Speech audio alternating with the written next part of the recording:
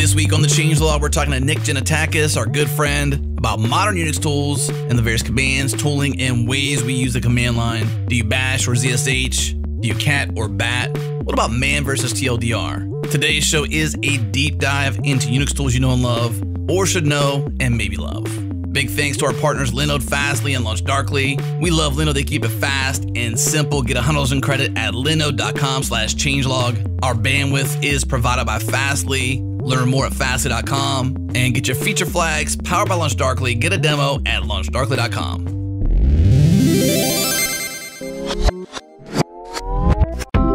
This episode is brought to you by Influx Data, the makers of InfluxDB, a time series platform for building and operating time series applications. In this segment, Marian Bija from NodeSource shares how InfluxDB plays a critical role in delivering the core value of the APM tool they have called NSolid. It's built specifically for Node.js apps to collect data from the application and stack in real time. At NodeSource, we want to lean into a time series database, and InfluxDB quickly rose to the top of the list. One of the unique value propositions of NSolid is real-time data, and there is a lot of APM tools out there, but there is a variance in terms of how available the data is. It's not really real-time. There is actually a staging period to the data, and InfluxDB is magical and allow us to deliver on our unique value proposition of real-time data with NSolid. To get started, head to influxdata.com slash changelog. Again, that's influxdata.com slash changelog.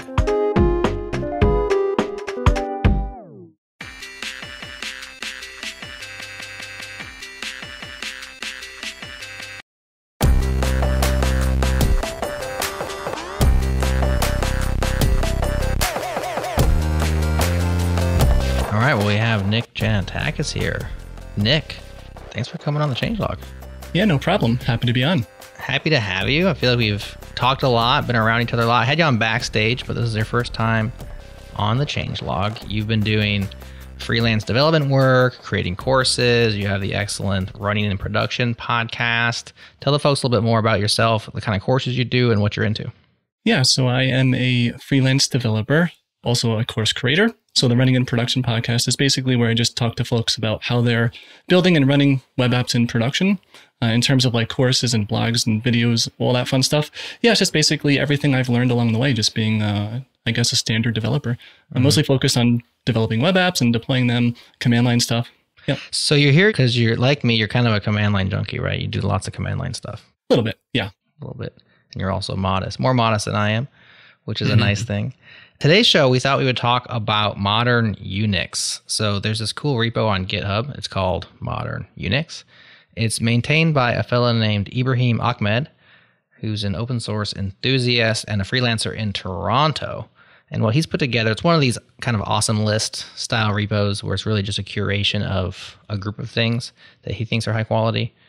And this is specifically a collection of modern slash faster slash saner alternatives to common Unix commands. And as I scrolled through this list, I saw a bunch of tools that we've kind of covered over the years on Changelog News, but I hadn't seen everything all together in one place. Of like, if you like Unixy things, and maybe the initial tools are leave you wanting, or you just like to have something new and shiny, this was a really cool place to go. So, looking at this repo, I had a few thoughts. First of them, first of all, what are the commands that developers actually use on a regular basis? I have a sample size of one, but I thought I'd get- get you on here to ask you that question as well, Nick. Like, what are the common commands? What job do these commands perform for us? What are we trying to do with them? How are they serving us? And then, are the age old versions sufficient? Or are they long in the tooth? Do they have things that just don't keep up with what we do in modern times? Hmm. And then we have all these modern replacements, and it's like, are the modern versions better? How are they better? Is it worth the installation? And so on and so forth. So that's the idea for today. I thought we would take up these topics. What do you think? Yeah, I think that's a great idea because, yeah, I've looked at that repo before at a glance and there's what, maybe 10, 15, 20 different tools there. Mhm. But in terms of like, what do I use in my day to day? So, you know, besides the super basic ones like CD or LS or whatever, yeah, I'm using grep a ton. I use awk, sed, cut. Do you know cut like the cut utility? I've used it in like a pipeline before, but I can't remember what it does. Can you tell us? Yeah, so like let's just say for argument's sake you have something like a CSV file that has uh, you know comma separated file and you just want to get like the third column there. So you can use cut there to be like okay, I want to delimit on a comma and get the third one. But you can do it on other things than a comma, you know, basically any character of your choosing. But it comes in handy just to like parse out tabular data. Mm. Yeah, so those are probably my go-tos in my day-to-day. I mean, there's so many specific little uh, things, right? I guess it's depending on what you're developing, but yeah, I would say grep and sed are like my go-tos for a lot of things. Mm-hmm. My go-to is LL. Mm. Double L. Double L, which is an alias, Double right? L. It's an alias, yeah. And it's actually an alias via Oh My ZSH. Nice. Uh, I, I don't use anything but. And that's an alias that comes with that, which basically is ls dash L for long list. Right. And I just hate typing ls dash anything really. So I'm just like LL. You know? So much shorter. It's just so much easier. I mean, I guess you could auto LL on CD, but uh, whatever. That's my most common one. Yeah, so I have tons of LS aliases similar. I have LL as well. Ooh, I rhymed.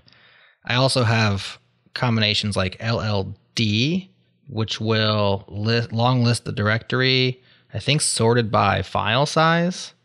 And then there's like LLS, which is like sorted by age, like last modified time. I can't remember them. I do them like with my fingertips. I can't think of them out loud, but I have probably like eight LL and then some sort of modifier just to save me from typing ls dash l ht or whatever it is to uh to have to remember those incantations. Nice to just remember those short. Mm-hmm. Yeah, I think there's another one too, like dash capital R. So it does like a recursive ls, and you can see all the files and different directories that you have. Yeah, and I just made the mistake of typing that in as you talked on a directory with a bunch of stuff in it, and it's still scrolling to this point. So Is that similar to tree? Yeah, I was going to say uh, it's a little bit similar, but it gives a little bit more information. So like if you were to do your LL, like imagine running LL, but it like goes through every directory and gives you the output of that recursively. Right. Gotcha. Where tree is kind of cool though. Like that's a good one that you brought up. Tree is kind of like what's in here to the deepest level or to a certain level. Mhm. tree will will explain will actually lay out the hierarchy as well, correct? Yeah, Yeah, it's more about like yeah, exactly the hierarchy of all the different directories beneath it. And tree is a pa- page, I believe. Like it's always. And I mean, let's see if that's true. No, it just spits it out. I think you can pipe it into less or something to add pagination, but I don't think tree is actually a built-in. I think tree is something that's It's not. like It's definitely not on a Mac. Common, sure. I don't think it's built in on Unix Yeah. personally. But I could be wrong. I use it. I do install it via Homebrew. Thank you, and I do use it somewhat often, often enough to to actually install it. yeah. So Yeah, I'm the same way. If I'm running Debian or Ubuntu, you just apt install tree and you're good to go. yeah, So one thing that's interesting, we talk about modern Unix tools, and I think there's confusion sometimes, and maybe I'm just projecting about exactly what Unix is versus Linux. There's like the all caps Unix. You'll see like just capital U Unix. You'll also see people using it as a non-proper noun, like Unix like, and it's lowercase. Unix. Then there's Linux. Adam just mentioned Mac OS is using tools that are on Linux. They're also on, you, called them Unix. And so I thought, what if we did went ahead and gathered some of the information just for people who don't know some of the history, some of the inner workings and the relationship between these terms and what they are, and provided a little bit of that context before we dive further into the individual tools that we're going to cover. Sound good? Sounds Sounds good. good. Although it's funny you mentioned like the lowercase Unix versus capital U versus like fully uppercase Unix. Yeah. It reminds me of that like English grammar trick, like the buffalo, buffalo, buffalo, buffalo thing. Do you know that one? I don't. Please tell us. No, what is that? Like if you literally say the word buffalo seven times in a row with certain capitalizations, like it ends up being like a grammatically correct English sentence based on like what a buffalo ah. is and like Buffalo, the town in New York. Like I'm not, I don't know it well enough to explain it, but Yeah. it reminded me of that. Now that you say that, it does kind of ring a bell. I think I've tried to figure it out, and it doesn't make it doesn't seem like it would make sense. But when you see it in context with all the capitalizations incorrect, it actually is a full sentence, right? Mhm. That's crazy. But sorry to interrupt. Yeah. Let us know the differences between Unix and Linux. Yeah, so this is just going completely off the top of my head. I mean, I didn't read it off Wikipedia, but if I was going to write a Wikipedia, I might say a few of these sentences. So the original Unix is AT&T Unix, And that was started in the late 60s, early 70s at Bell Labs. Right. So that's like the OG. It wasn't even open source; it's proprietary. AT&T licensed Unix to various parties in the 70s, and that led to the different Unix variants like UC Berkeley's BSD, Sun's Solaris, IBM's AIX, and there's more than just those. Now, all caps Unix, that's the trademark, which AT&T owned until the 90s. Then it sold it to Novell, which then sold the Unix business group to somebody else, but then they kept the copyright, which eventually ended up at the Open Group, which is like a consortium of different entities. No idea if they still hold it or what. So, like capital, all caps Unix, that's Unix, the trademark. Of course, there were legal disputes along the way, but those are not interesting. Back in the 80s, the GNU project began, which was an effort to create a free software Unix like system. You probably have heard of GNU stands for GNU's not Unix. It's not Unix, but it's Unix like. And it's famous for many mm-hmm. things, not just the invention of the recursive acronym, which is pretty rad and has been copied over and over again. What else does GNU do? You know, the GPL, the GNU General Public License, GNU's compiler core. What's GCC stand for? GNU's compiler something. They got GCC, of course, the core utils like ls, rm, etc and more. They have their own core utility that they implemented. So GNU had a lot of things going, but they didn't really have a working kernel. There was GNU Hurd, H U R D, which was being worked on back in the early 90s, but didn't totally work yet when Linux came around. Of course, Linus Torvalds released Linux back in 1991, and that's a kernel. So the Linux kernel is a operating system kernel. It's not an entire operating system. He released that as GPL, so it got integrated with a bunch of other GPL stuff. And then there's also the BSD Unix effort, which was released in 1992. That led to NetBSD, FreeBSD, later on OpenBSD, and I think Dragonfly, a few others. I honestly don't know very much about BSDs. I do know there's some people that are very passionate about BSD, but yes, I don't know are. very much about BSD. What about you, Nick? Have you dove into the BSD side of things at all? I have not. Yeah.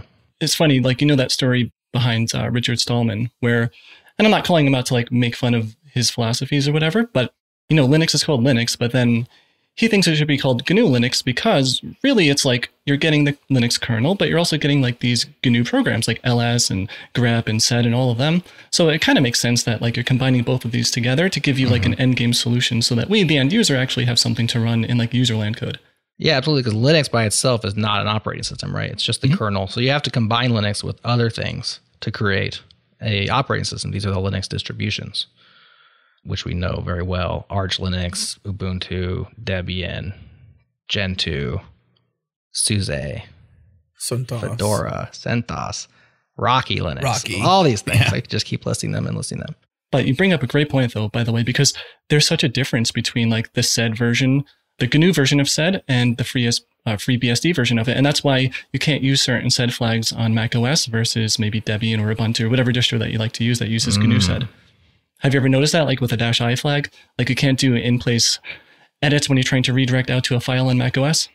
I've been on Mac OS for so long that I don't know probably the intricacies. I don't work too much in Linux anymore like I did back in the, the early aughts. I do notice like some of the I have to send different flags. So like in my bash RC, I'll have like slightly different aliases depending on if the the OS is Darwin or not, if I'm on a Mac or not. I don't remember what they are. I think maybe even LS might have a slightly different way of coloring files or something like this. The DNS flushing, you know, the DNS cache is slightly different. So that is interesting, and it's based on the roots of the of the operating system, right? The BSD side versus the Linux side. Mm-hmm.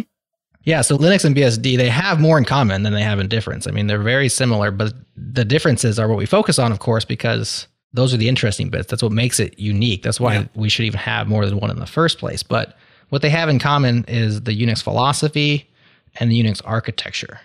The Unix philosophy is something we talk about on the show all the time.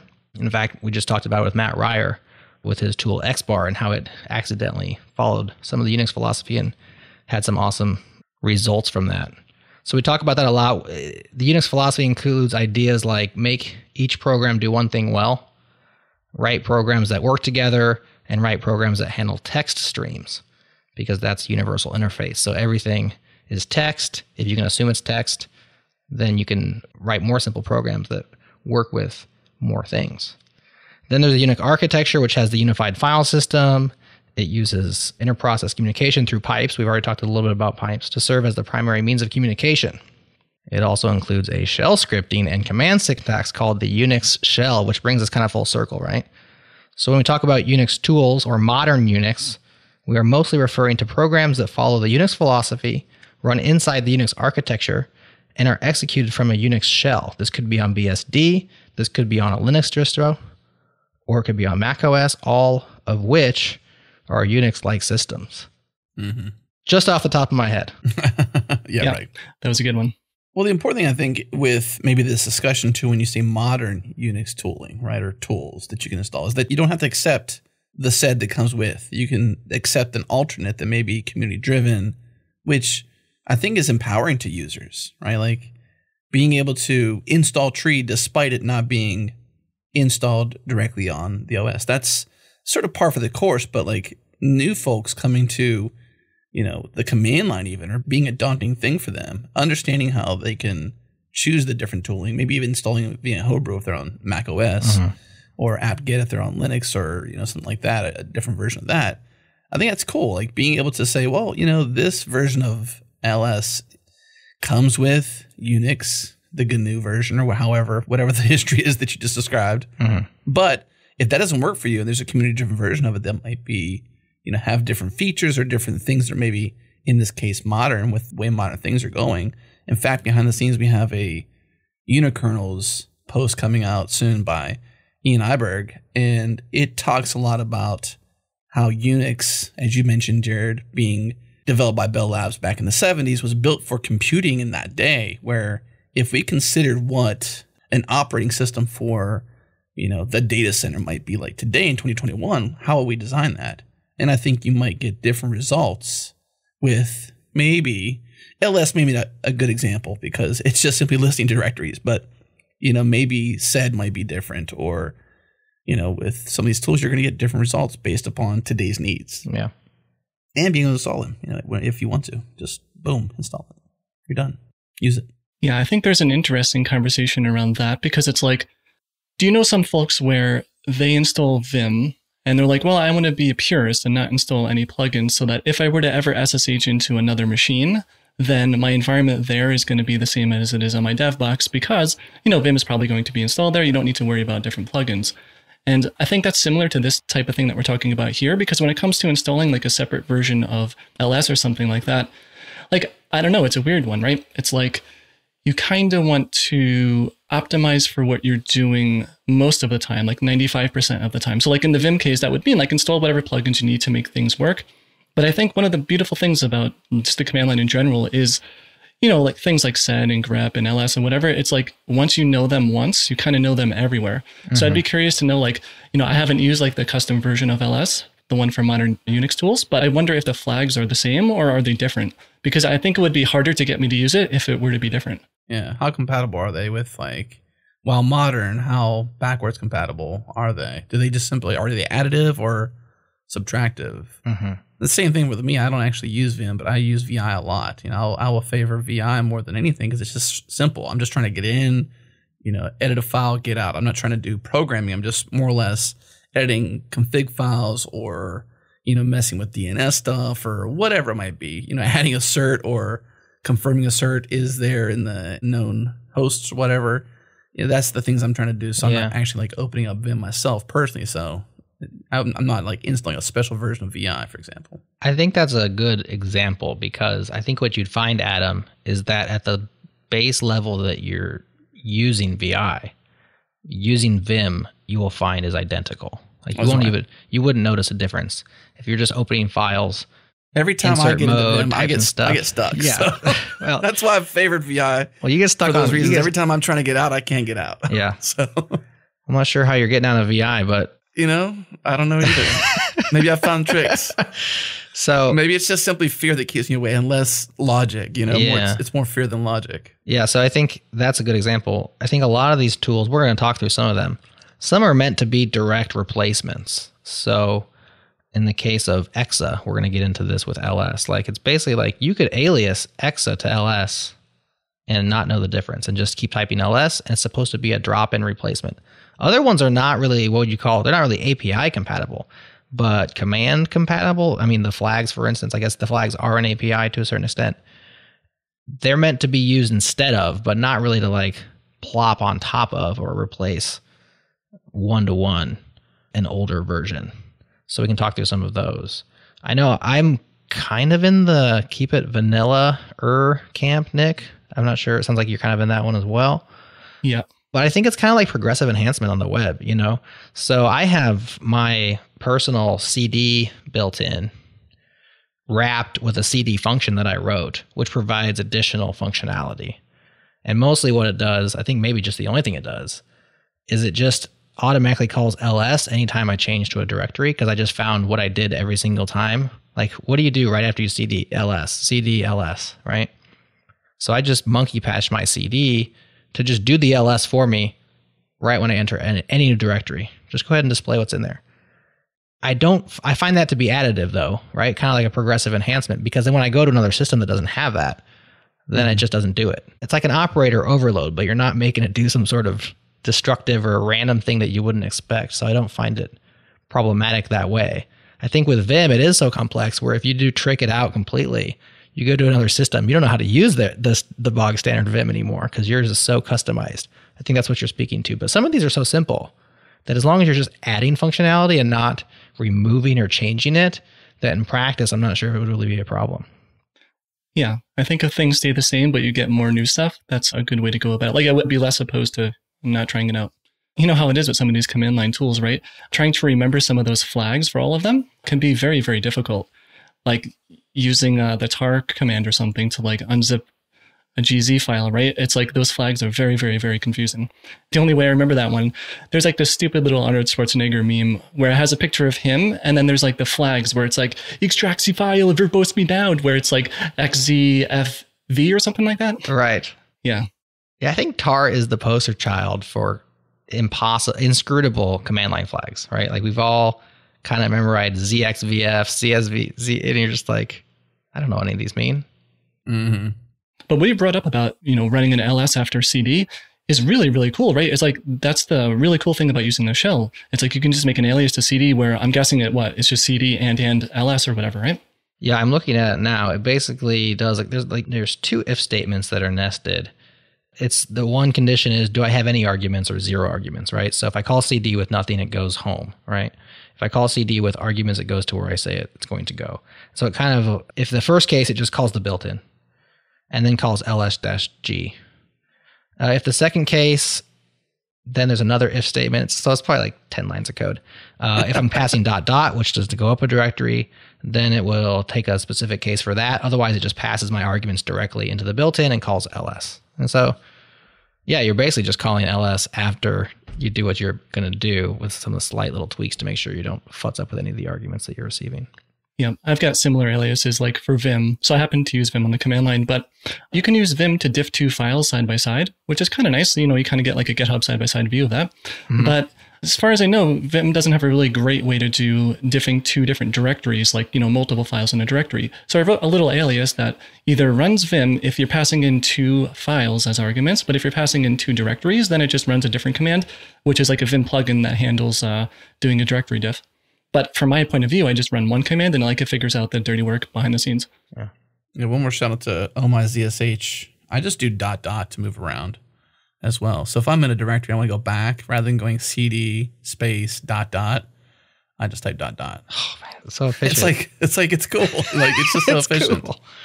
Do you know what that's doing behind the scenes? It's just calling CD, I suppose. I imagine it's probably just doing. Now, what CD. if you go dot dot dot? I don't know. That's the other thing I remembered my, my, CD function does. I'm starting to realize this thing's more powerful than I ever expected. It will take CD dot dot dot and go up two directories and dot dot dot dot and go three. up three. So Z, oh my ZSH does that. So that's spectacular. Because yeah. who wants to go yeah. dot dot slash dot dot slash dot dot slash? Nick, you've been nobody. You've been typing dot dot slash all this time, or what do you do? So okay, I have an interesting take on this one because I would love to be able to do the dot dot dot stuff, but if you're recording video courses or doing YouTube videos, sometimes it's Mm. hard for other folks to follow along if they don't have those aliases set up. And if I have to like segue into, by the way, I have this alias for every single one, then it becomes like not really sustainable. So yes, I do the dot dot slash dot dot slash dot dot slash. like a chump. No, that's actually a really Yeah. good reason. And also a good reason to keep your Vim kind of standard, especially if you're going to be pair programming or if you're going to be instructing people, is that if you have a completely customized Vim and you're trying to teach programming, all of a sudden you're teaching Vim customization, right? Sort of, kind of. I mean, in that regard, I optimize for me. So I do have like, I don't know, 50 or something plugins and it's all set up. But I have all of that available on my dot files on GitHub. And I have everything installable where it'll work if you're using Mac OS or any distro of Linux. So it's very easy for folks to just copy paste stuff if they want. But yeah, when it comes to like teaching like a, a video course on programming, I try to like, sure, I'll link to my dot files and let people know like how to set up their environment, but I don't want them to go on, on like a side quest where it's like seven hours to get Vim configured when they can just use VS Code or Sublime Text or, you know, whatever editor they happen to be using already. So I did some more hunting while you're talking there, Nick. And so every dot takes you back a directory. Nice. So as far back as you are, if you want to go back five, you five dots, enter. Kind of cool. So what happens if you put in like 45 dots? Does it like recursively go back around? Go around? back in time It might go back in time. I think it just goes back as far as it can. to the root. Yeah. Yeah.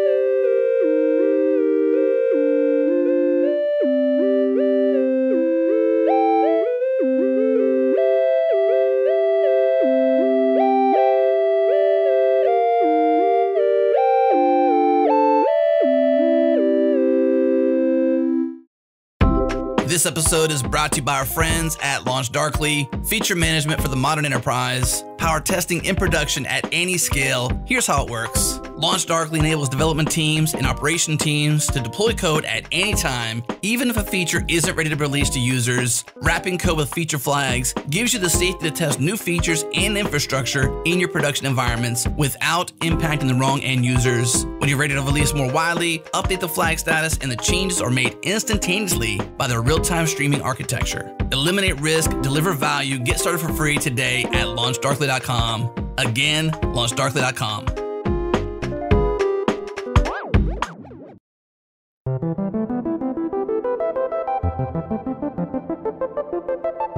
So you've probably used cat. A few times. Same. Actually, what is that one command that you can run to see your most used commands that you've run in your history? So history is the history command. There is a command that will do that. What was it, Adam? We were just using it the other day. Uh, that's boggle my mind too. I do recall it though. It's one of those Yeah, I think where it's history. No, it's not history. History is just a list. I saw a bunch of numbers. and I It'll sort them by the times you've used them and show them to you.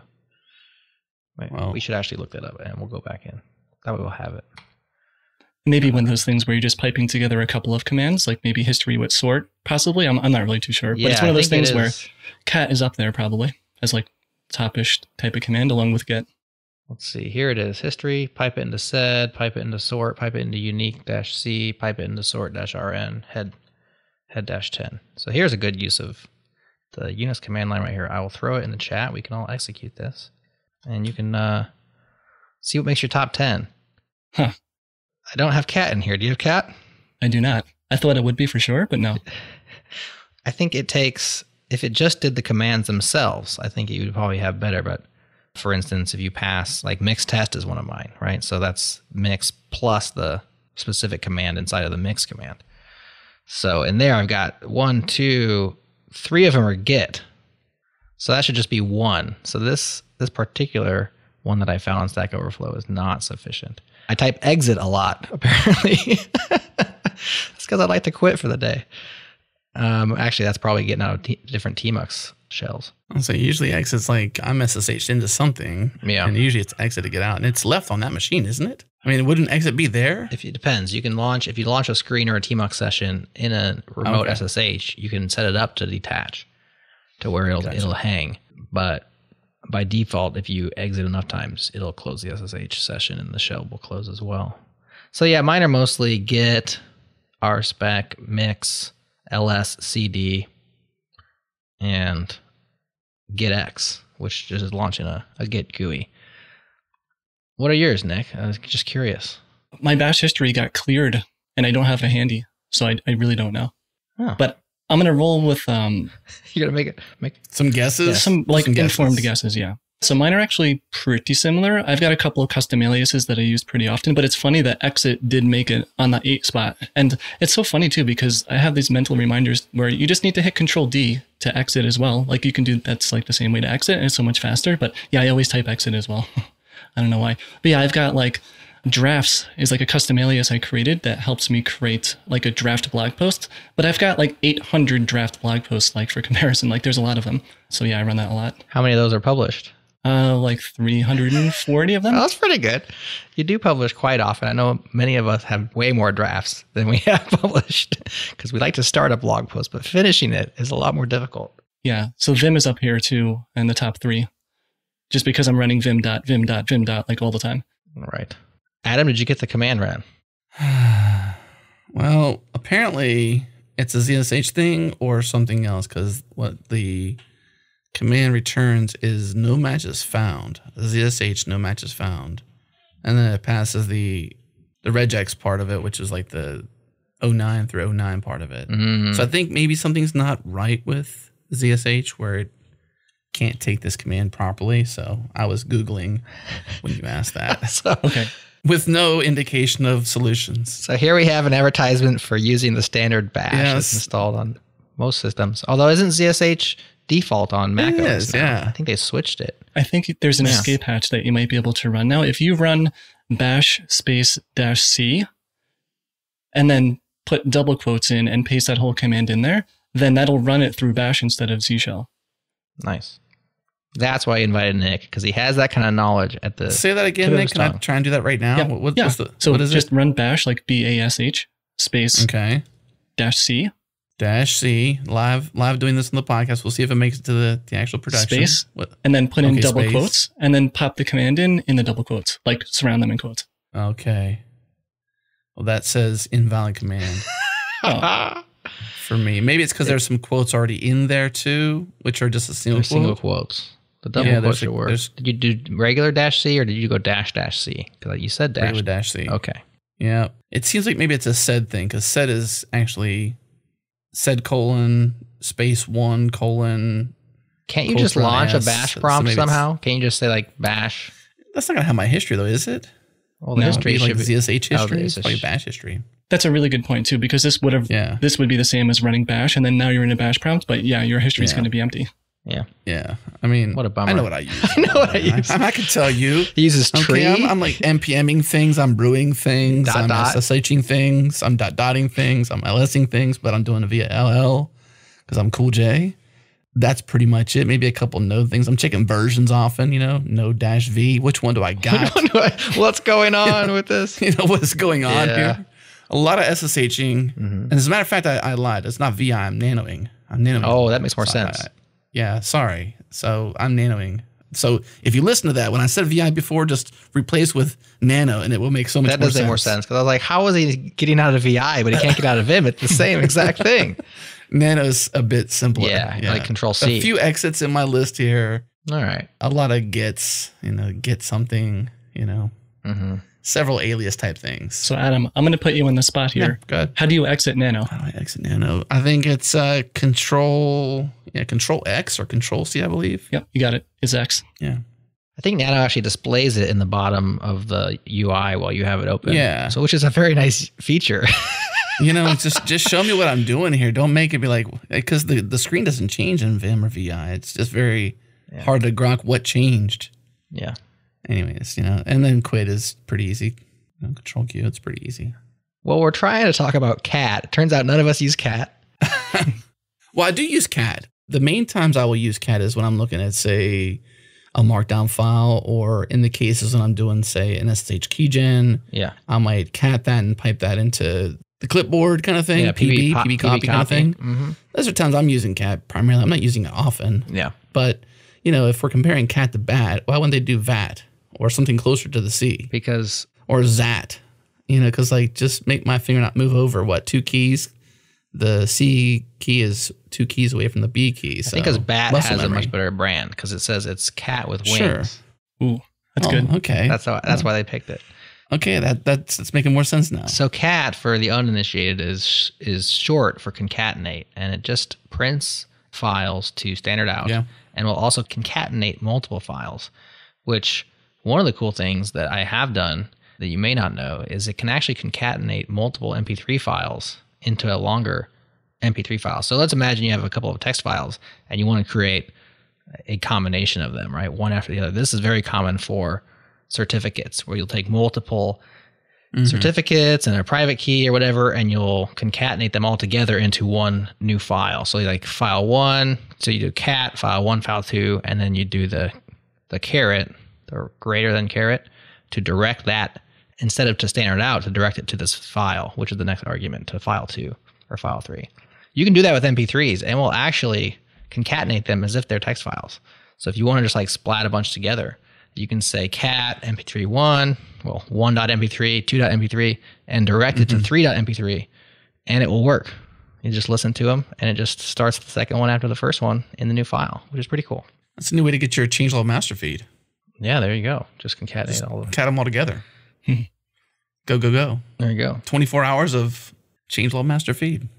That's very cool. I never knew that. You can also use the star operator with cat as well. Like if you have to match on a file pattern, you can just do something like, well, I've done this before in the past where I have my notes set up to where I have like 2021 dash and then 07.txt, like July 2021. But you can replace that 07 with a star and then redirect with like greater than sign and like, you know, export out to like 2021. And now suddenly all my monthly notes got redirected out to a single file for like the year 2021. Hmm. Very cool. Yeah. Is there anything missing in cat? Like, do you ever use it and you're like, I wish it did this? I mean, this is probably a good segue into what BAT actually does, but yeah, syntax highlighting is would be kind of nice instead of having to open Vim up to get that. There you go. Yeah, so that's basically what BAT adds. So it's just like cat, only it default syntax highlights as well as Git integration. So if you call BAT in a Git repo, it will show you like the index of like the you know what's been plussed and minused since the last commit. So it'll also do that for you. And it shows line numbers and stuff. So it's really kind of a cat with focus on software development. Whereas, you know, if you're catting MP3 files together, you don't really want to see the syntax highlighting on the MP3s. That's a great example of one where like I could see myself aliasing cat to bat then. Like I don't do it right now because it's one of those things where mm, I kind of want the syntax highlighting, but it's like, is it good enough to install another tool? Maybe. Right. That's really the question that comes down to is like how much work is this to adopt? Do I have to then take it with me everywhere? You know, again, it would be a progressive enhancement because it doesn't syntax highlight on some other machine. You're just like, okay, don't care Yeah. because it's just a nice to have anyways. Now, here's where it gets interesting with these two because BAT is not a one for one replacement for CAT. And here's why it defaults to piping into less. So BAT will be paged by default, whereas cat won't. So if you cat a JS file, a JavaScript file, it'll just spit out the entire thing, right? And what you'll see if it scrolls your terminal is just the end. Whereas with BAT, it's going to syntax highlight it, which that's the feature, but then it's also going to send to less, which is a pager. And so it's going to let you navigate that file. And so that it kind of breaks API compatibility in that way. Yeah. I'm curious, does it have a flag to disable the paging and just have it go all the way? It does have a flag to disable. So there's like a dash dash paging equals never. You can set that in your, there's a configuration file. There's also a, a shorthand, which I don't know what it is. You can also alias cat to bat dash dash paging equals never. So you can, you know, make it as part of your alias so that it doesn't do that. But then it's also kind of smart insofar as if you're using it to concatenate files versus display them, it will turn it off automatically. Like it obviously won't go to a pager. So if you're catting files together the way you're talking about with multiple text files, it'll work just like cat. But when it comes time to print them to standard out is when the, the pager is in there. So you can turn it off. But I think if it was if it was my choice, I'd probably say, well, you can turn it on. You know, if you want to just page, go ahead and turn this on. But you know, the author of BAT must have thought that that was a big enough feature for them that it'd be worth breaking that compatibility. I'm just gonna need a bat RC file. Yeah, and then you got to ship that bat RC file around or something. Mhm. You know? Well, at least in your main machine, you got it covered. You know. Yeah. If you're hopping around, I guess if you're hopping around, that's the question too. I guess most people don't hop around to machines often. Maybe they do. I guess if you're a developer, maybe the reason you're using these modern Unix tools, you want the developery things of them. So maybe you are. Yeah. I guess I jump around to a lot of machines, but I'm not doing sophisticated things. So I guess it kind of depends, right? Like most things. Yeah. If you're taking these things with you, because I'm not, I'm mostly SSHing into Raspberry Pis and the occasional Mac Mini. You know, that's about it for me. I'm not really doing a lot of Linux server management myself personally. Yeah. Yeah. I mean, in that regard, I try to set up my servers so that I don't have to SSH into them, you know? And if I do, it's like, yeah, very one off things like, oh, go through this Nginx log and grep a couple things out. Yeah. So, I mean, if you're tricking your personal, you know, for lack of better terms, beat PC out, then trick away hmm and don't take the tools with you or don't feel like you have to. But, you know, Jared, a long time ago, you said, I think we were, this must have been like four years ago, we were both upgrading operating systems same time, happening to be getting like new machines, same time frame. And I think you did just before me. And you were like, you know what? I'm not installing any extra stuff on this machine. I'm going to keep it pristine. Yeah. I'm using Terminal, and ever since then, I've been using Terminal. Whereas before, I was an iTerm user, I guess just because, not because it was better, but like Terminal's good enough. And ever since then, I've been using just simply Terminal. Mhm. So I can kind of appreciate the minimalist approach to these things, and that's kind of the, you know, why cat versus bat, why bat over cat. Would you install it? Should you install it? Yeah. The other thing you can do is install it, but not alias it. So Yeah. then you can just kind of use them both side by side. And maybe when you want the syntax highlighting, you just have to remember to type bat. Now, I'm the kind of person I will never remember I have it installed, and I'll just type cat and I just will see it the old school way. But if you are actually actively trying out the new one for a while and you want to run it side by side, none of these are like install them and it replaces your cat with bat. That's not how it works, right? So that's nice, is you can kind of limp in that way. I am a fan of only installing what you use, and I do appreciate a purge every once in a while. I'm excited to upgrade my laptop because I'm it's getting long in the tooth again, and I'm going to do it again. I'm going to start fresh. I'm just going to like you know it's like Survivor for for software. You know who's going to cut the mustard? Who's not going to get voted off the island? So, what's your top one that you're probably going to get rid of? Well, that's the thing is I'm going to get rid of everything, and I only install what I need. Right. Well, I guess So- I should say, what's, who's coming back on season two? is coming back? Good question. Tmux is coming back. Git, obviously. What else is coming? I, I do have my dot files. I'll move them over. So it's not like I'm getting rid of all aliases. It's mostly like desktop apps and command line tools that you have to install with Homebrew and whatnot. So yeah, all the typical things will be there. I'm sure I'll need Postgres right away. I'm sure I'm going to need Elixir right away. Like everything to run changelog.com, you know, software development. Maybe I'll just leave VS Code off this time. I'm getting ready to just go back to Vim 100% because VS Code's just been slowing down on me lately. Really? hmm Not me. And they kind of annoyed me with the, what's it called? That mode, restricted mode. I'm not sure if you guys have gotten that yet. Is that what they do a pop up where it's like, hey, by the way, do you trust the files in this directory? Or, and there's like a yes no button or something? Yes, and it's new. It's like in a newer version, so I updated, and all of a sudden I have to trust all my own directories. And the reasoning is it's for security, but it has to do more with collaboration. So like you can securely view other people's files, but not be afraid that they're going to execute something, maybe in that shared mode or whatever. And these are things I just never use. And so for me, it was like offensive. Like this is the same folder I've been working with my entire life, and all of a sudden I have to tell you that I trust it. Like you trusted it yesterday. Yeah. And so I got kind of bugged. I didn't understand that really. I was like, of course I trust it. And so I was like, yes. yeah. So imagine if there was a new version of LS where every time you run it, it's like, by the way, are you sure you want to view the contents of this directory? exactly. like- As that kind of perturbed Yeah. me, and I was like, that plus it's kind of been running slower. Like you know, things I'm waiting on it more. I'm like, sorry, VS Code, you're kind of pissing me off. You know, you might not be coming back next season. We'll see. We'll see. We'll see. Well, there is NeoVim 0.5 just came out recently. I saw that release. Now, what's the skinny with NeoVim? Why is everybody so excited about it? It's a performance thing, or what is it? So I use regular standard Vim, but NeoVim 0.5, it was a couple years in the making. And I think one of the biggest features, as far as I know, is the built in LSP support. So some of those nice things that you get from VS Code, like being able to do code complete with like really nice, like, you know, IntelliSense, uh, Mm-hmm. that functionality now is something you get with NeoVim out of the box without having to run an external LSP server. As far as I know, it's like now built into the editor as like Gotcha. maybe a plugin, like a core plugin or something like that. It may be time to dip back in and go full Vim and give NeoVim a try. Let's see if that cuts the muster. Well, let's move on to some more of these modern Unix tools. So we've got uh, Cat and Bat. There you go, uh, listener. Decide if you want to give Bat a shot. It's definitely cool. I mean, I think the the syntax highlighting is nice, especially if you do a lot of CADDing of source code files. FZF, this is one, Nick, that you put into the document. You want to tell us about that? Yeah, so this would be one like if I were purging out all my tools, it would come back for season two, season three, all the way to season eight, and then the show would end. But yeah. um, FZF would win. Okay, so if you're not using FZF and you are on the command line and you want to rerun commands that you've run in the past before, like your history file, it becomes very tedious to find these commands. Like you can be one of those people who just hits the up arrow like 400 times in a row to try to find that command that you ran like six days ago, or you can hit Control R. And this will work without any plugins. You can do it right now. And that is going to allow you to reverse search your history. So you can just start typing a command, like let's say you have a long get command or some, you know, whatever commands that you run. You can just start typing it, first couple of characters, it is going to find a match. And if it doesn't find a match, you can just hit Control R again to cycle through all these matches. So it's very, very handy for recalling commands that you've run in the past. And FZF takes it to another level because now it brings up a nice little menu that pops up where, and it starts to fuzzy find all of these, like basically every command in your history.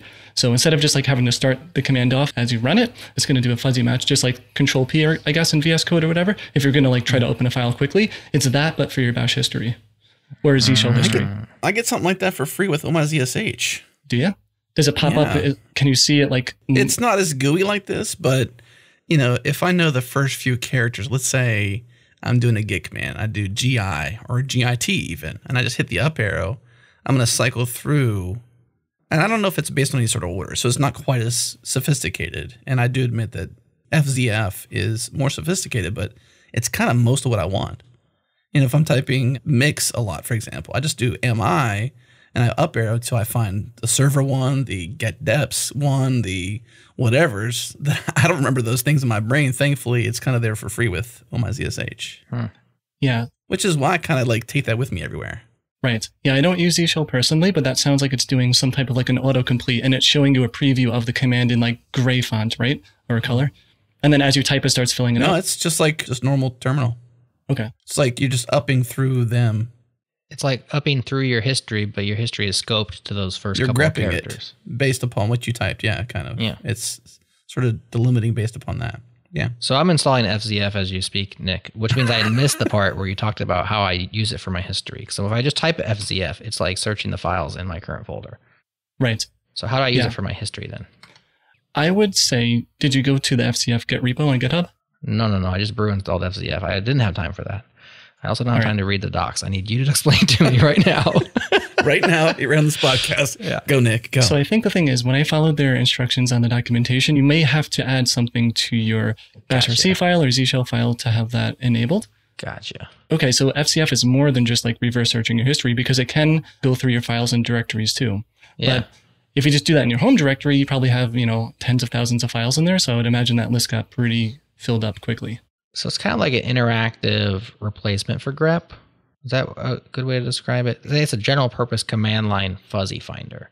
Right. So, I mean, grep is a command line finder. Well, you might use grep to like grep through a file to filter out some content of a file, like if you're looking for specific log entries or whatever. This is more just like show me commands I've run in the past without me having to type in like those, you know, the start of the command or whatever.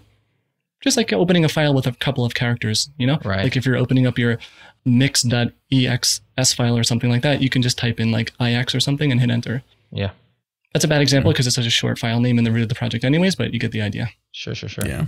So yeah, now I'm looking at their deal, and it looks like you have to set up their fuzzy completion key bindings through Homebrew. So I will do that offline. But uh, Yeah. I am excited about this because you know what? Even just Control R is not something I actively use, and not because I'm against it. It's because I don't remember it. What I do is lame. I do have history alias to H, so I can type H for history, right? And then I can just pipe that into grep for like a part of the thing that I remember, and then hit enter, and then there it was, which is not cool. Like even Control R is cooler than that, right? Mm-hmm. Yeah, also FZF works with Vim as well. So if you want to open files very quickly in Vim, fuzzy matching them, then it's the same interface in Vim. And you can also use it in Vim for other stuff too, like searching your Git commits and even Vim snippets, because those are a little bit hard to remember. Yeah, it's pretty cool. It's like you can always remember a little bit of something, not the full thing. So Right. I think that's an interesting thing too, because on the command line, right, there's so many commands to run, so many flags to run, so many flags and commands to remember. Yeah. Yeah. I like using the command line. I still feel like it's a very good interface to find things, but sometimes like you know, I don't know, like pSQL is a great command to connect to a Postgres database and run some raw SQL, whatever you're doing in there. But sometimes uh, GUI tools are just a little bit nicer. Mm-hmm. 100%. Well, we talked a lot about LS. We didn't mention a specific modern replacement, so I'll do that now. There's one called EXA and one called LSD, which is like LS with a D at the end.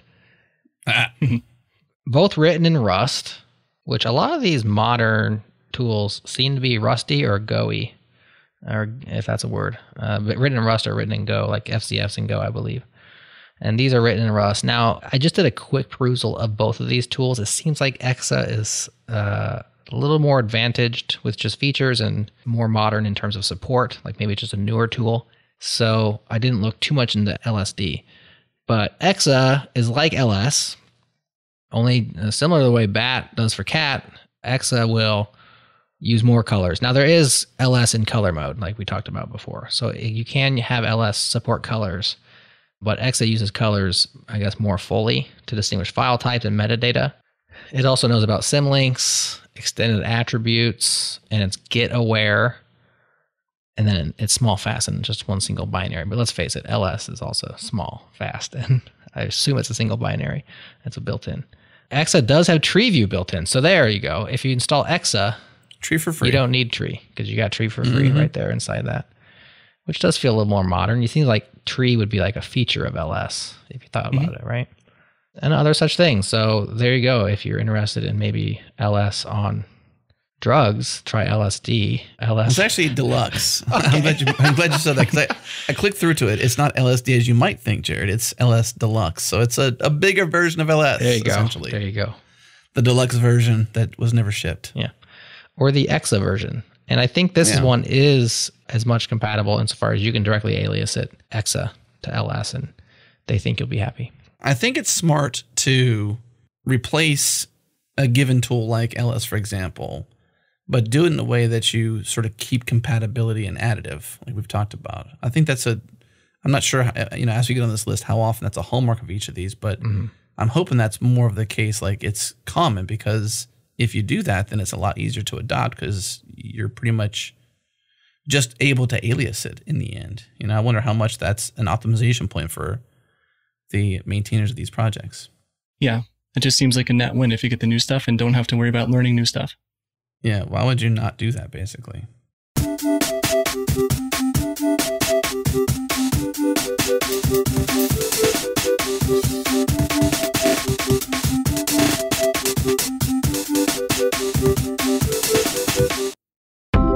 This episode is brought to you by Sentry. Build better software faster. Diagnose, fix, and optimize the performance of your code. Sentry just shipped their SDK for Next.js. Now, in your Next.js apps, you can capture errors, measure performance, manage releases, configure suspect commits, and automatically upload source maps to view unminified JavaScript and TypeScript with zero-ish configuration. You get your events enriched with device data, breadcrumbs created for outgoing HTTP requests, release health for tracking crash for users and sessions, and automatic performance monitoring for both the client and the server. Check for a link in the show notes for details to this release. Best of all, our listeners get the team plan for free for three months. Head to Sentry.io and use the code the changelog when you sign up. Again, Sentry.io and use the code the changelog.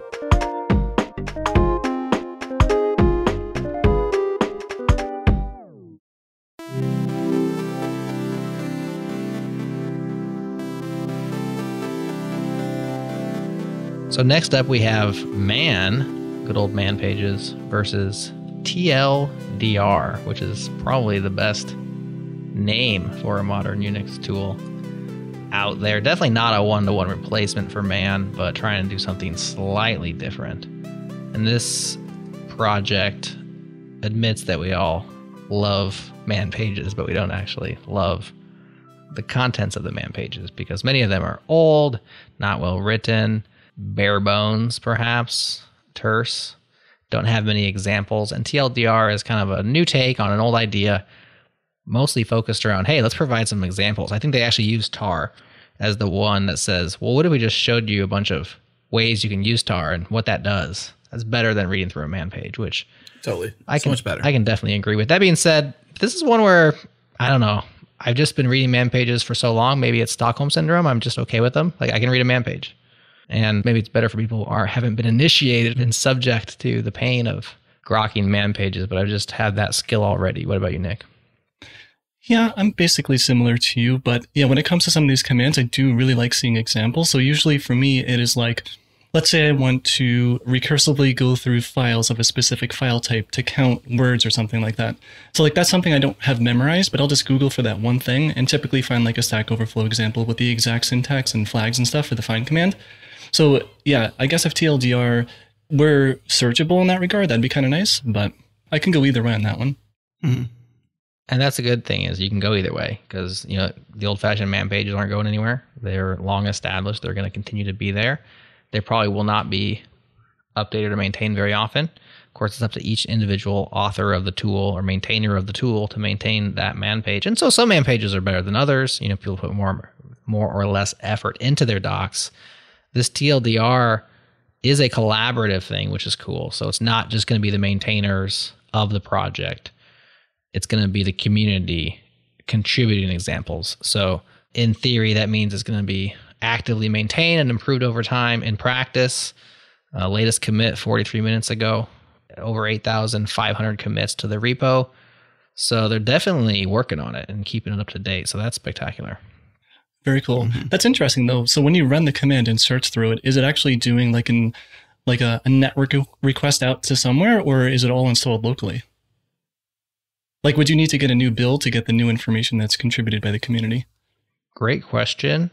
I just ran TLDR tar and it says local data is older than two weeks. Use dash dash update to update it. So it sounds like it will cache locally, probably the first time you run it. And then you have to manually go out and grab whatever's new. I don't think you have to update TLDR itself. You- It probably just has some sort of source for the information that it caches and grabs from. So Mm-hmm.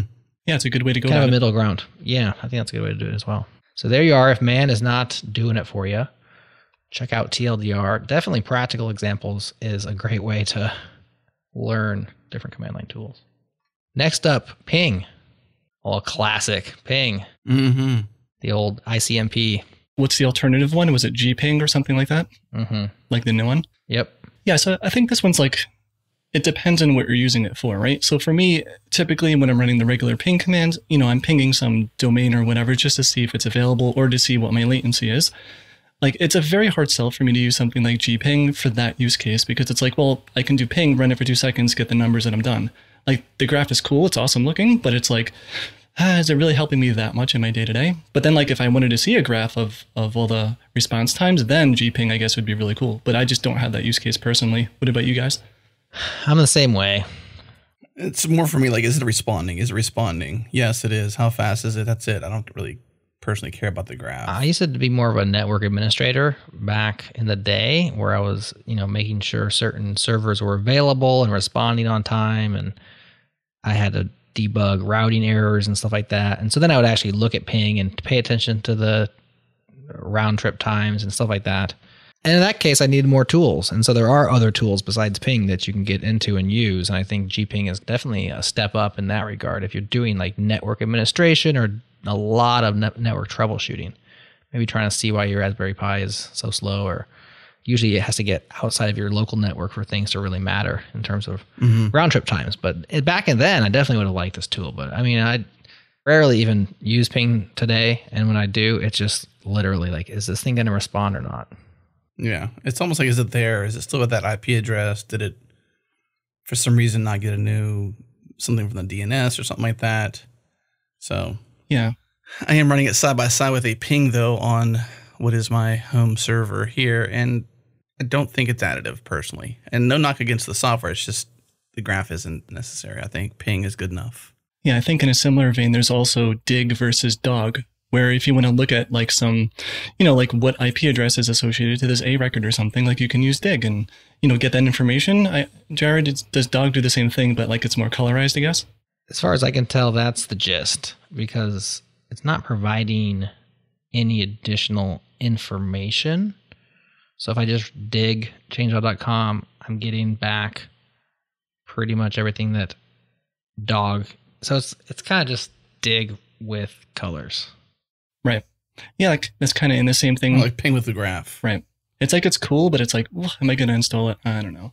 Not to be negative or whatever, but That being said, there's lots of options. There's lots of query options. So maybe we're just looking at it face value and saying it's the same with colors. Maybe once you dig in, there's uh, dig in, pun not intended. Maybe there are more differentiations that we just don't see at surface level. So maybe worth a look. Also written in Rust, so there we have a continuing theme here. I will give them a plus one though on this because we haven't said yet in the the GIF on the repo in the README is showing a ping of two different domains at the same time.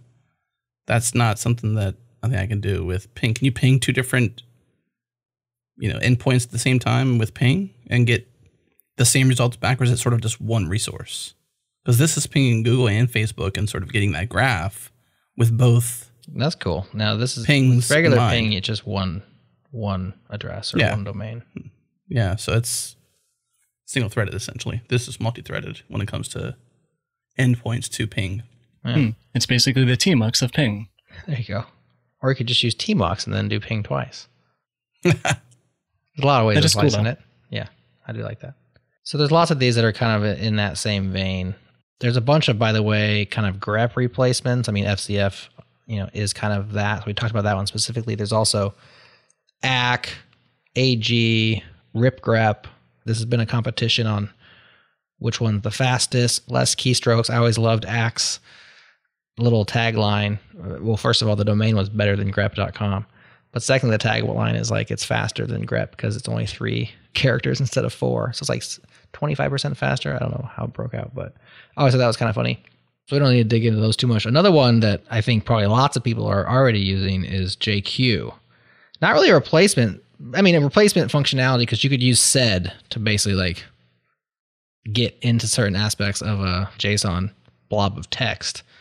But it's not like sed has any sort of JSON aware anything. That's been a big change over the last couple decades. Is most people who are doing data interchange are basically parsing and sending JSON around the web, right?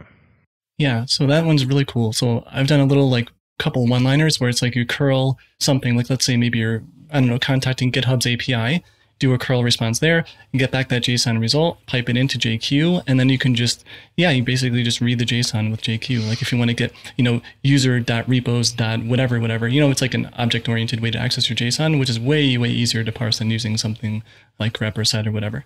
Yeah, and JQ is pretty ubiquitous at this point. See it all the time. I see it in a lot of people's tutorials or in their readmes showing how to use their API. They'll often have JQ, and so I don't think we're necessarily breaking news on this one, except to say that there really wasn't a modern Unix tool specifically for JSON, just because JSON is more of a modern format that didn't exist back when these tools were written. So JQ has placed itself. Now there are alternatives to JQ, which aren't on this repo, but we can get into that at some other point. There's people who are trying to provide different ways of slicing and dicing JSON. So on a similar vein, there is an alternative to curl. And there's lots of alternatives to curl. Of course, we know wget, but that's not a modern alternative. Those two go back. More modern than those is HTTPie. HTTPIE is how you spell it. And that's like just a very stark, less verbose way of just like requesting HTTP resources. And that's been around for a little while. What's newer and I think more interesting from that is this project, which I actually didn't know anything about until I hit this repo. The modern Unix repo is Curlie. C U R L I E. And Curlie is an attempt to take what was cool about HTTPie, which is really a simplified HTTP client for the command line, but doesn't provide very many of the facility. I mean, we all know how many things you can do with curl. It's incredibly featureful. And HTTPie didn't really have a lot of those things. So whenever you needed like slightly more functionality, you'd have to abandon ship and go back to curl.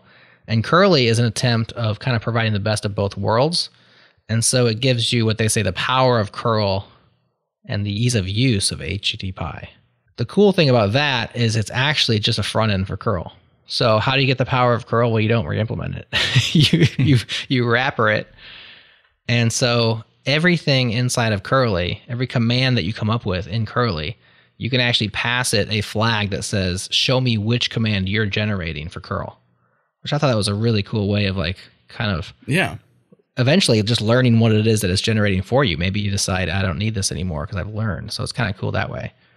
Definitely, this is one that I would use. I did download it. I've been using it today, and it's kind of one I think would stick with me because I do like just the simplification of that command line, but still being able to reach under the covers when I need to. Yeah, I love that feature of just echoing out the actual raw command that it runs for curl. But I haven't heard of that one before, but yeah, I'm going to check that one out. So you're not replacing curl with it though, right? Or you are? Nope, you are calling curl. Well, no, what I mean is like, are you using that instead of calling curl yourself? So even if like normal daily uses, you'd say curl this, would you still do curlie or would you do curl? I'm going to start doing curlie for a little while and see what I think, basically. Yeah. Okay. And remember that I am a basic curl user. I'm not an advanced curl user. Right. So mostly I'm looking at header. Like the most advanced thing I do is like looking for redirects, looking at headers. You know, I'll take the output from curl, redirect it into a file so I can, you know, inspect a file or something. Those are mostly what I'm doing with curl.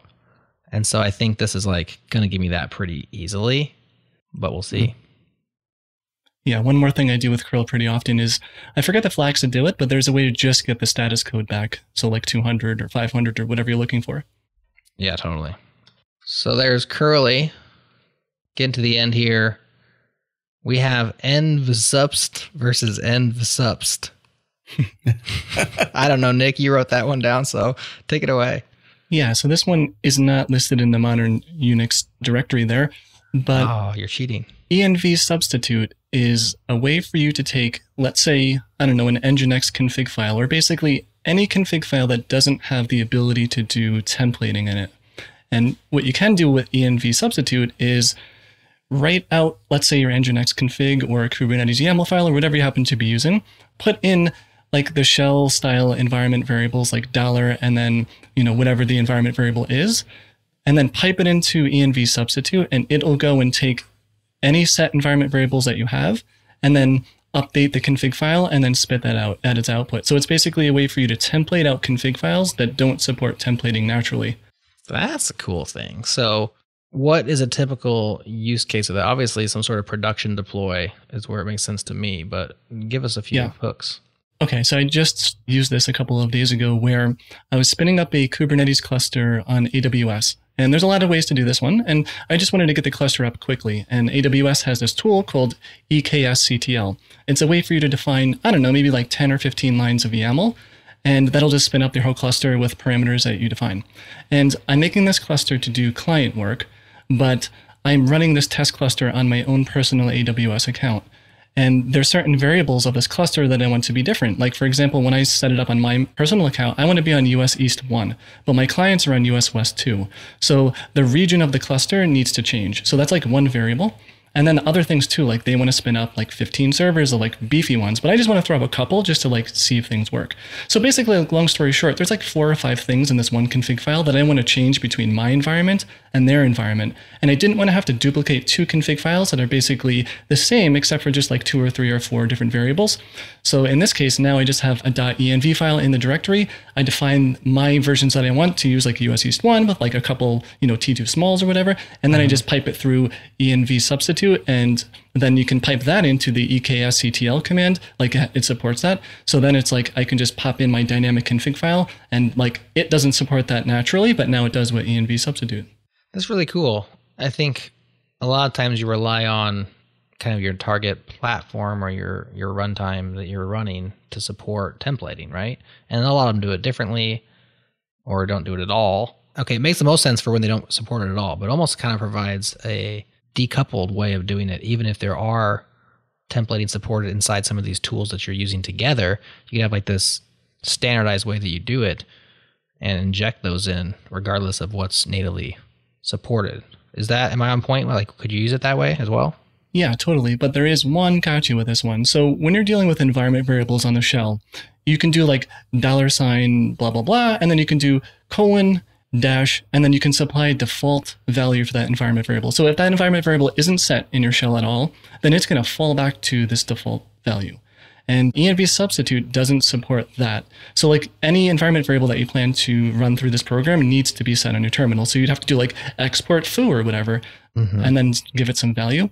So I wrote this one down in the notes because there is another tool called env substitute. It's like the same exact name, but it was rewritten in Go and it supports that idea of having a default variables in there. So you don't need to set them all up. You can just set a reasonable default in the config and then it works for, you know, however you want. And then you can optionally override that with your own environment variables. Very cool. So that's why you have env subst versus env subst. I didn't see it in the parentheses. It says Go version. I thought I thought they were both Go. Okay. So But this command env substitute, I think it should be built in. Like I didn't have to install it on Ubuntu. I'm not sure about macOS, but I'm pretty sure you probably have it. Yeah. Hmm. News to me. TIL. That's cool. I definitely I can find some uses for that in my life. Yeah, and you can just very easily try it out on your own. You can just use the echo command and like echo out an environment variable and then pipe it into env substitute, no arguments, and you can just see how it works. It looks like it is here on Mac OS by default. So the play by play would be like uh, export space hello equals world, Okay, gotcha. and then echo dollar sign capital hello, and then pipe that into env sb or env subst. env subst. Or if you want to get fancy, tab complete the command. Oh, do I need any sort of quotes around? it didn't work. It didn't. It didn't echo anything. Did you export the variable first? I oh I exported it on the same command line. I, I should export it and then run the echo dork. Yeah, Yeah. two separate commands. Yeah. Tab completion for the win this time. Hey, it says world. Nice. So cool. But I mean, you don't need to do this one live, but the idea now is like you can just take a file and then just pipe that through there and then send it over to whatever you need to. And it's going to like be the man in the middle that processes the file and turns it into a template that the tool understands. Very neat. Well, we've come to the end of the show. We haven't come to the end of the modern Unix tools. So definitely check out the repo. All the little things that we've mentioned will be linked up, including this env substitute with the Go version. So you can get that one if you're into defaults, which I certainly am. And I agree, should probably be built in by default anyhow. But nonetheless, there it is. Oh, uh, hold on. Sorry to interrupt, but here's like, I don't know, a pro tip or whatever. But if you are on the command line and you tried out the command that Jared just ran, if you did define a default for that variable, it is going to work. But the only reason it's working is because your shell is actually interpreting that default variable. So it's a very tricky, subtle thing. So it's hmm. not going to work if you have the variable in a file, but it will work in the command line because your shell is pretty awesome. That's the worst when you have something like that where you're like, it's working right here in my shell. Why doesn't it work when I go to use it? You know? Yeah. Good pro tip. yeah. Anything left unsaid? Surely you've left some things unsaid, but anything else we want to say before we tail off? Nick, tell folks where they can check you out, the coursework you do, etc. Yeah, so I have a personal blog at nickjanetakis.com, N I C K J A N E T A K I S. And I put out a new post every week. A lot of them are YouTube videos lately, but I do have written versions of most of those. Like, you know, if there's a command line heavy video, you're going to see reference tables of the commands there. As for courses, I have a Build a SaaS app with Flask course where we build a SaaS app with Flask and use Stripe and a whole bunch of different stuff there. I have an intro to Docker course, dive into Docker. I keep that one up to date basically for new to Docker, want to figure it out. There's that. And there's also like the running in runninginproduction.com podcast where, yeah, we went over that one before. Basically, just talk to new folks every week about how they're building and running their stuff in production. New courses on the way. I do have a deployment course coming out. Still working on it, but it's not available yet. But if you go to nickjanetakis.com, you can get notified there and when it ships. That's about it. I'm also on Twitter at nickjanetakis. All the places. Everywhere. All the places. We do link it up in the show notes so you can find everything Nick just said pretty much there. We'll do our best to do great jobs with show notes. Hey, but guess what? They're also open source. So if you see that we've missed something, well, then you can step in. And if it's October, you get a t shirt. Not from us, from DigitalOcean. That's right, from DigitalOcean. But Nick, you're always awesome. Big fan of what you do. Thanks for coming on the show, man. Thank you for sharing your thoughts, your wisdom, etc. Yeah, thanks a lot for having me. This is really fun. All right, that's it for this episode of the Changelog. Thank you for tuning in. We have a bunch of podcasts for you at changelog.com. You should check out. Subscribe to the master feed. Get them all at changelog.com slash master. Get everything we ship in a single feed. And I want to personally invite you to join the community at changelog.com slash community. It's free to join. Come hang with us in Slack. There are no imposters and everyone is welcome. Huge thanks again to our partners Linode, Fastly, and LaunchDarkly. Also thanks to Breakmaster Cylinder for making all of our awesome beats. That's it for this week. We'll see you next week.